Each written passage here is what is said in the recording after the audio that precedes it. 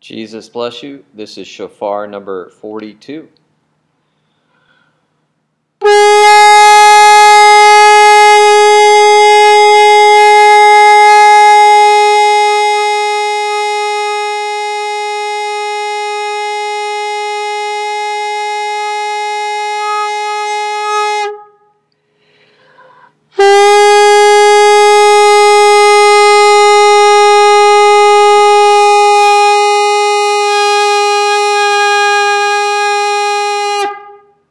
Jesus bless you.